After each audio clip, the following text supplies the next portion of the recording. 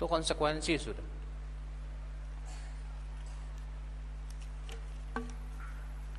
Apakah ada sholat sunnah setelah sholat subuh? Tidak ada.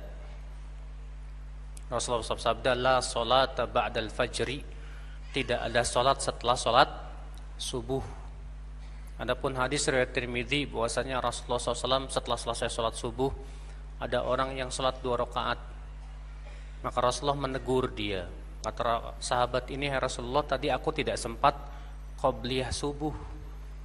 Maka Rasulullah pun diam, tidak meng mengingkari. Maka itu sholat kodok namanya Pak. Itu mengkodok qobliyah subuh yang tidak sempat kita lakukan. Tapi kata para ulama yang paling utama mengkodok qobliyah subuh itu nanti setelah matahari terbit. Karena adanya hadis yang menganjurkan demikian dalam berat Imam Ahmad.